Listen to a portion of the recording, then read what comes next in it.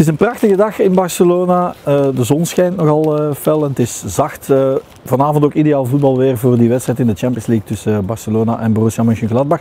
Die er in principe niet meer toe doet, maar toch belangrijk is. Ook al zei de trainer van Barça, Luis Enrique, dat het hem eigenlijk niet zoveel uitmaakt.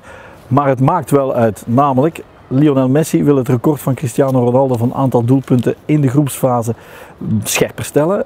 van 11. Hij zit nu op 9 ja, minstens naar die 11 gaan of misschien wel daarboven. Dus dat is een motivatie op zich.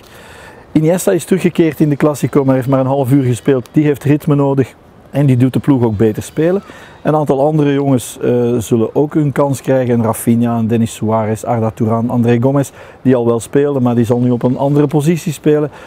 En het is sowieso interessant om hen tegen Torgan Hazard te zien spelen. Maar ik denk dat Barcelona vandaag gewoon los kan spelen, ontspannen kan spelen en die wedstrijd gaat winnen met pakweg 4-1.